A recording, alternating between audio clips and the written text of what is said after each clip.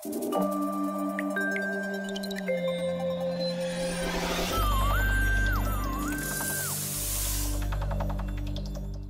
is er veel bewolking, slechts af en toe breekt de zon door en er is nog kans op een lokale bui.